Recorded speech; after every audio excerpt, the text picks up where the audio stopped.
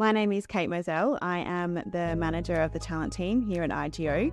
We are a mining and exploration company based in Western Australia with a focus on creating a clean energy future. We know that gender diverse workforces have an increase in creative thinking and it fosters innovation, which ultimately leads to a really positive working environment.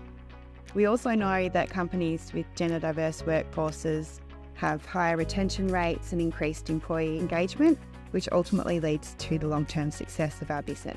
Since partnering with Work 180, we have seen a year on year increase in number of female hires, and we have also seen a 5% increase in applicants who are female.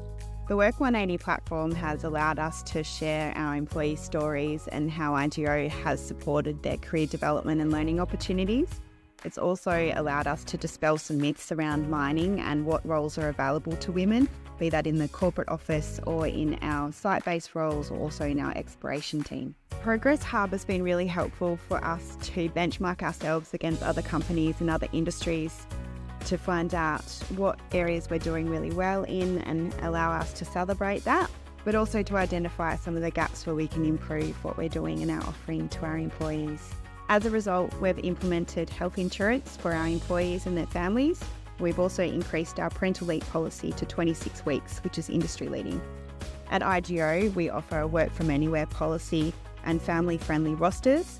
We also have a range of internal career development opportunities, including our MBA program and also our formal internal mentorship program. We're really proud of our diversity.